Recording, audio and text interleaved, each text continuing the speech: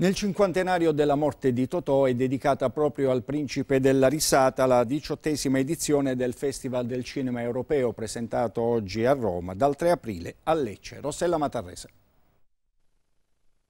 Chi si ferma è perduto. Sarà il film dell'immenso Totò a inaugurare la diciottesima edizione del Festival del Cinema Europeo a Lecce il 3 aprile.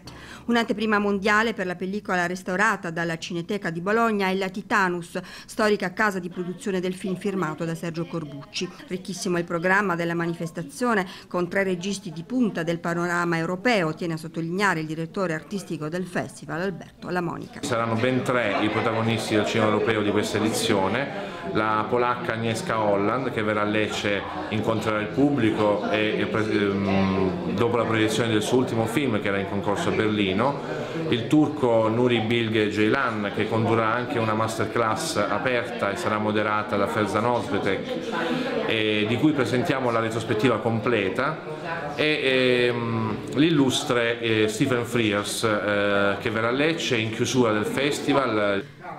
A ricevere l'Ulivo d'Oro alla carriera saranno anche Isabella Ferrari, Valerio Mastrandrea e Francesco Masselli. Un programma serratissimo quello in scena al Multisala Massimo dal 3 all'8 aprile. 16 i paesi europei presenti e la giuria presieduta dalla produttrice dell'European Film Award Marion Doring, ma non c'è solo la competizione, decine di lungometraggi e documentari nelle sette sezioni della manifestazione. E poi gli incontri e workshop con i protagonisti della mostra che assegnerà anche i riconoscimenti per l'ottava edizione del premio Mario Verdone.